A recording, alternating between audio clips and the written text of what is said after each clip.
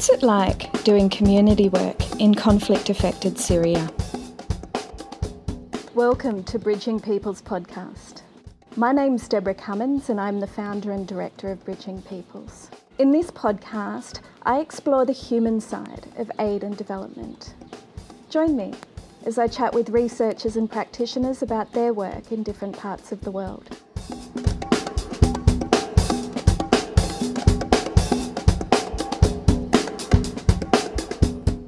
I don't know if you can imagine how a trainer or community organizer will go to a community in a war where there is no structure, there is no resources. It's really require a huge change in the mindset. But practices really can change. We all have stories to share about ourselves, about the communities and cultures that we're a part of. And now more than ever, it's so important that we listen to each other's stories. Some of the stories that you'll hear in this podcast are funny, others sad.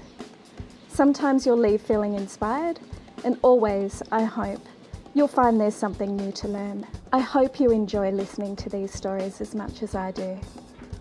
So I invite you, click the link below and join me in Bridging Peoples.